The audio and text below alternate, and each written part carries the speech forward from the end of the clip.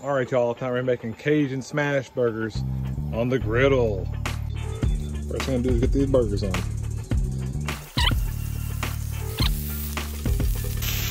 Cajun seasoning. I'll hit with black pepper and with some W sauce too. Next step, put that bacon on there.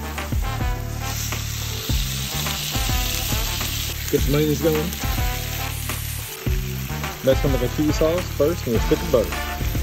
Pan of add bread milk. A whole lot of cheese. Throw some Cajun seasoning in here.